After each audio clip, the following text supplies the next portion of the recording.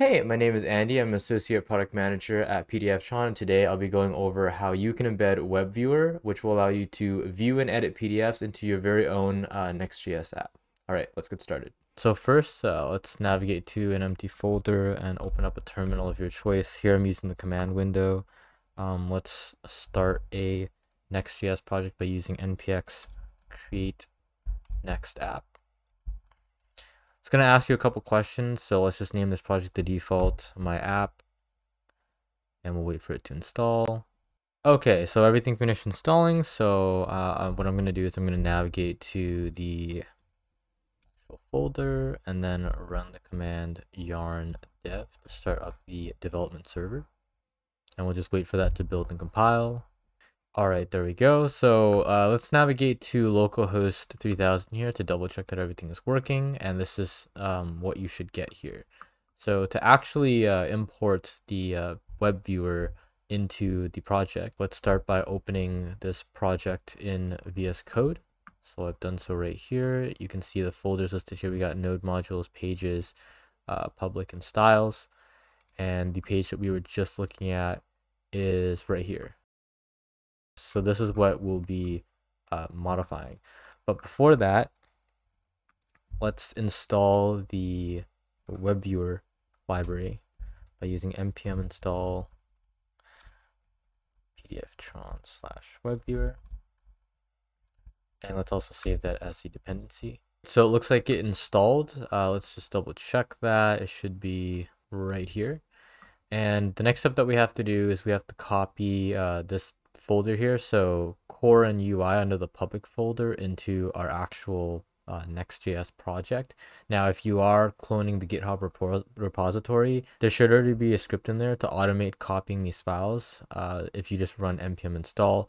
But if you're doing this manually and importing this into uh, any Next.js project by yourself, this is something you'll have to do on your own. So let's select these folders and copy both and then put them into a public.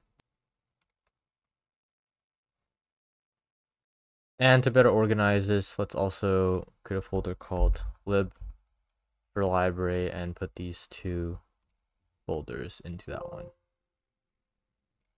Awesome. Okay, now we're ready to actually start writing some code. So I'm going to start off by deleting everything in here and uh, pasting the template that we have on our GitHub. This is also in our guides as well, which um, everything will be linked uh, down in the description below.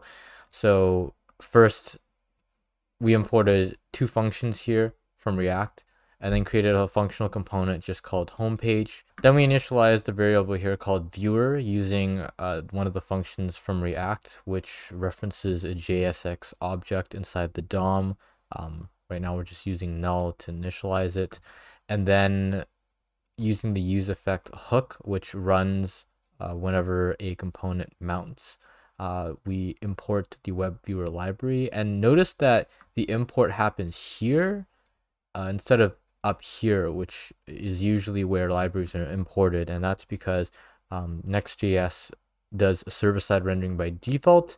And we need to import this library after this hook because this hook ensures that the component mounts or renders before all of this is done and because the library has dependencies on uh, knowing where the window for the component is we have to initialize it here. So after that's done after the library is imported uh, we call the web viewer constructor here. This takes in a uh, options object as well as an HTML object. And you can see here that we included the path to the libraries for the files that we copied earlier, as well as an initial document. Notice that both of these uh, file paths are with reference to the public folder. So that's why this is lib.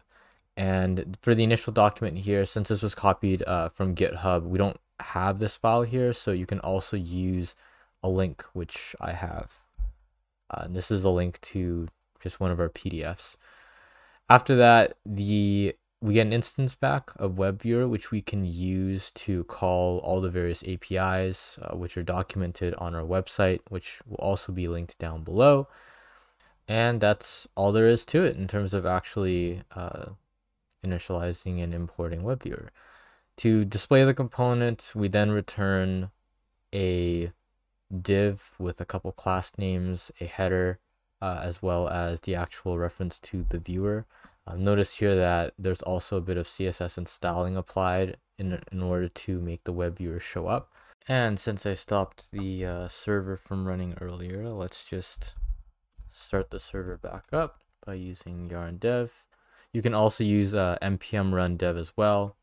And then let's go to localhost 3000. Uh, and you can see here that web viewer is here with the PDF that we imported. So yeah, that's it. That's how you embed uh, PDFtron's web viewer into an Next.js application. If you also want to use other frameworks or modify PDFs, uh, there's quite a lot of documentation online. You just go to pdftron slash documentation slash, I think it's guides yeah guides uh, and you can see here that we have a lot of uh, different functions and apis for a lot of the things that you may need to do with pdfs such as creating uh, creating them creating forms page manipulation uh, editing page content extraction etc etc so yeah there's a lot of documentation across here and that's pretty much it. If you have any questions let us know uh, down in the comments below. Uh, thanks for watching and see you around